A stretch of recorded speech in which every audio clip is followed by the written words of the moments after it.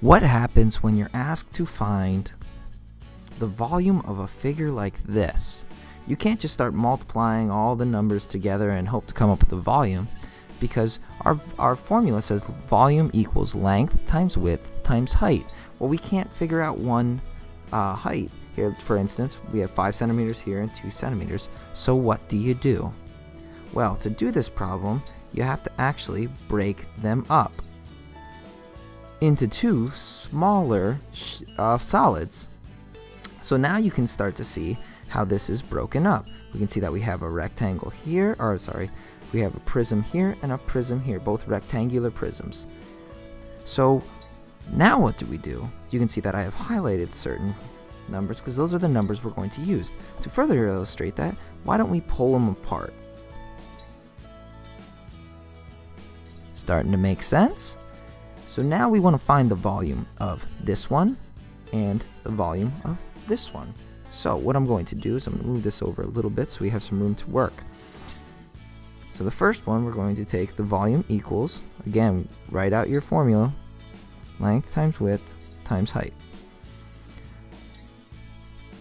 We're going to look first for length. Right here is 2, so volume equals 2 times the height would give us 5.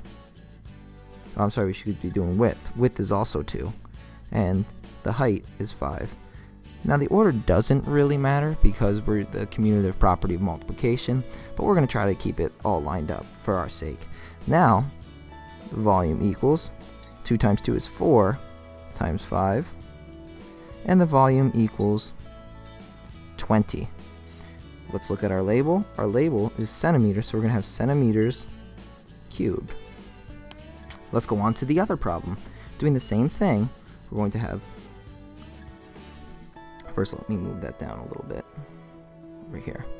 Okay, we're going to have volume equals length times width times height.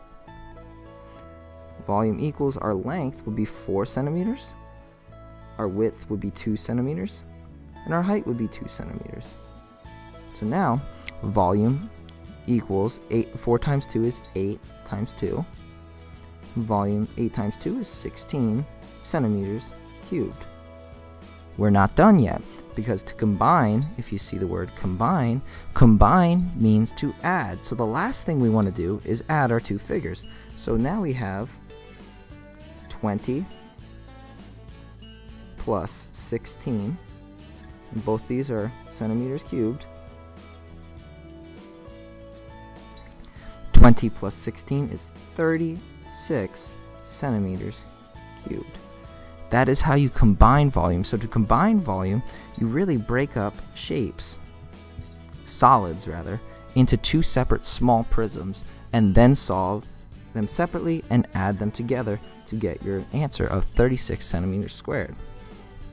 If you're still confused, you can go to watch my volume video on my YouTube page the link will be in the description of this particular video. It goes over basic volume and also combining volume to the tune of Happy by Pharrell Williams.